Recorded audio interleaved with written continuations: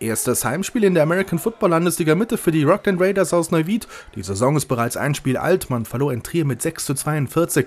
Eine deftige Niederlage. Gegen die Wölfe aus Wetzlar wollte man nun eine Reaktion zeigen. Die Raiders gehen rund erneuert in diese Saison. Headcoach Jörg Bammerlin gehört nun zum Trainerstab der Koblenz Huskies. Quarterback Ken Ortiz macht wohl erstmal eine schöpferische Pause. Dafür liefen einige ehemalige Spieler wieder im Trikot der Deichstätte auf ehemalige und auch neue, wie etwa Quarterback Sven Hammer. Er ist der neue spielende Offense-Koordinator der Neuwieder, einer mit Erfahrung. Als Quarterback hat er schon Regionalliga gespielt. Auf anderen Positionen sammelte er unter anderem im Vorjahr auch Erstliga-Erfahrung mit den Rhein-Neckar Bandits. Dort war er auch Jugendtrainer. Ein anderer Neuer kommt gerade erst aus der Jugend, aus der des Regionalligisten Montabaur Fighting Farmers. Receiver Patrick Brüngel trägt jetzt sein weißes Trikot. Die ersten Punkte der Partie gab's durch die Torstangenkicker Martin Pelzer, der schaut heute noch öfters hier vorbei. 3 zu 0, Neuwied bringt die ersten Punkte auf die Anzeigentafel.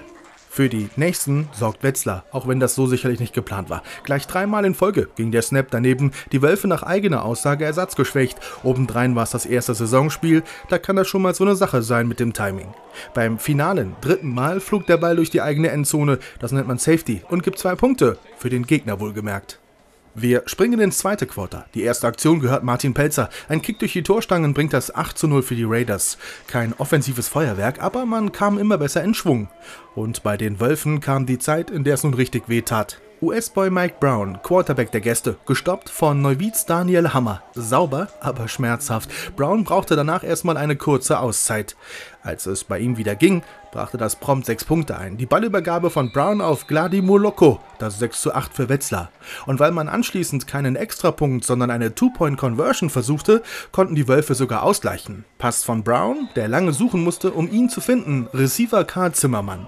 Erinnerungen wurden wach an das Vorjahr. Da hatte Neuwied einen guten Lauf, bis es gegen Wetzlar ging und man beim Unentschieden die ersten Punkte liegen ließ. Dass es diesmal anders laufen würde, dafür sorgte der laufende Quarterback. Sven Hammer, sein erster Touchdown im neuen Trikot, sein erster als spielender Coach für die Raiders. Der Zusatzpunkt von Pelzer war auch gut. Zur Pause stand es 15 zu 8.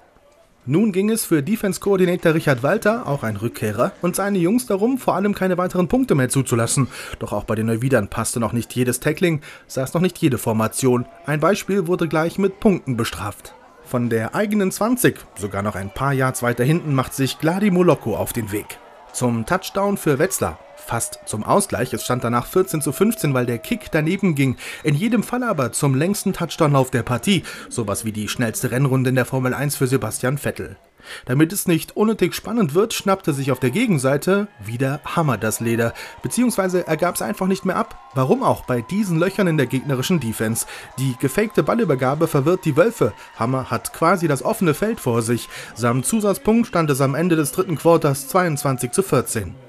Weniger erfreulich, dass wenig später ein Krankenwagen vonnöten war, um Neuwieds Tim Lukas vom Feld zu bringen. Diagnose am Abend, Bruch der Schulterpfanne. Von dieser Stelle eine schnelle und vor allem gute Genesung an Tim Lukas.